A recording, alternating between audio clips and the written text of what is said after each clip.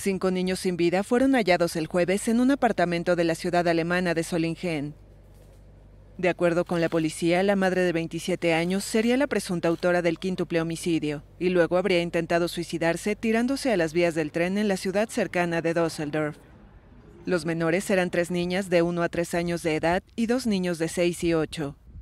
La madre resultó con heridas graves, fue rescatada de entre las vías y trasladada a un hospital.